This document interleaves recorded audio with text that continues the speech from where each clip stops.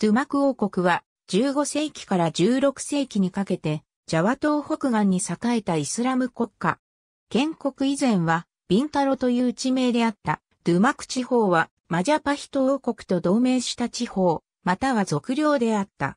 15世紀に中国人ムスリムのチェイクコー PO によってドゥマクは建国された。16世紀初頭にマラッカに滞在し、東方諸国旗を表したポルトガル人トメピレスによれば、チェイクコー PO の子供がラデンパターである。1504年頃にラデンパターが死ぬと、その兄弟のスルタントゥルンゴノが即位し、1505年から1518年までと、1521年から1546年までの2期に渡って統治した。東部ジャワに伝わる話では、ラデンパターはマジャパヒト王国のブラウィジャヤ5世の息子である。成人すると、スルタンアラム・ワクバール・アルファターと称して、ビンタロの領主に任命され、その統治権限はラデンパターに与えられた。母はパサイ地方の順パ出身でイスラム教を信仰していた。マジャパヒト王国が衰退し始めた時に、ジャワ島北海岸地方の領主の多くは、ドゥマク王国を名手とする連合体を作った。ラデンパターは1500年から1518年までドゥマクを統治し、米を中心とする広大な農地を有していたために、王国は急速に発展した。輸出産物としては、米、ロー、蜂蜜などがマラッカ、マルク、サムドラパサイへと輸出された。王国はイスラム教の布教の中心、サムドラパサイとの友好を深め、ワリサンガによるイスラム教の布教の新たな中心として発展した。王国の支配地域は、ジュパラ、トゥバン、スダユ、パレンバン、ジャンビ、カリマンタンのいくつかの地方に及んだ。マルク地方での布教は砂切りによって行われ、東カリマンタン地方への布教は、トゥンガン、パランガンという名のドゥマクの州務官たちによって援助された。1511年、マラッカ王国がポルトガルの手に落ちると、ドゥマクとマラッカとの関係は断絶した。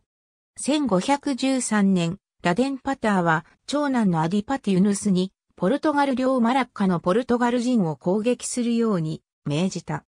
ポルトガル側の軍備が優れていたために成功しなかったが、この攻撃を行ったことにより、アディパティウヌスには、北海を渡った王子という称号が与えられた。ドゥマク王国は、東部インドネシアの香料生産地と、西部インドネシアの市場としてのマラッカとの中継地としての機能を果たしていた。そのため、国内及び国際交易の中心地としてのマラッカの地位を奪いたいとの欲求が常に生じていた。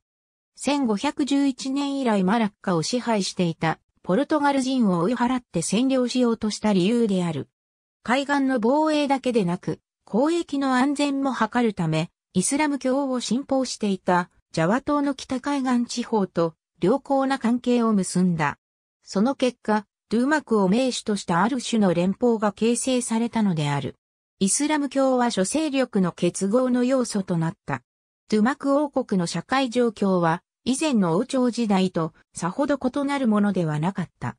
人々の生活はイスラムの教えによる規則や法律によって律せられた時代であったが、古い伝統も残されていたからである。ドゥマク王国が繁栄した頃、ジャワ島において、イスラム教は急速に発展した。